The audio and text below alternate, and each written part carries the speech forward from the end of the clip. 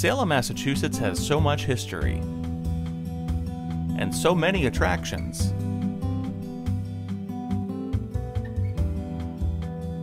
that it may not be easy deciding what to do first.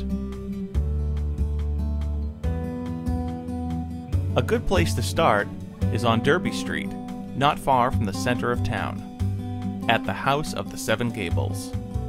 On our visit, museum director Amy Waywell gave us an intimate look at this historic property.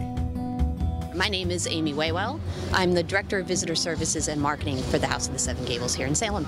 Can you tell me a little bit about the, the the various buildings. I know there are multiple buildings on the site. Well, the House of the Seven Gables is really uh, sort of the, the crown jewel of them all. And it truly is a uh, wonderful example and a wonderful survival of 17th century architecture. There's a, a, number of really terrific 17th century details that have survived the 340 plus years, uh, and a number of terrific 18th century details inside, notably the Georgian paneling and paint colors.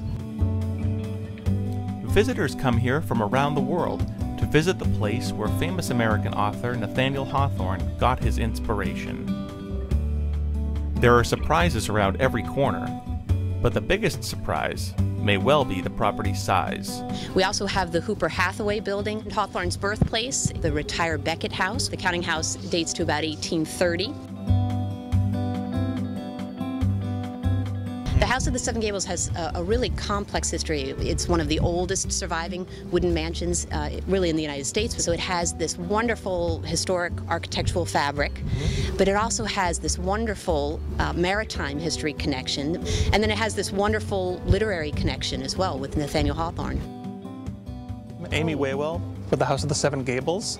I really appreciate your time coming out today and, uh, and, spending some time with us. I appreciate you coming all the way out here to, to visit with us and uh, for letting me share uh, our treasure with you. Thank you very much, Amy. If you're a fan of American literature or American history, or if you simply want to take a step back in time, make Salem, Massachusetts and the House of the Seven Gables a stop on your itinerary. The House of the Seven Gables, a great example of the spirit of New England.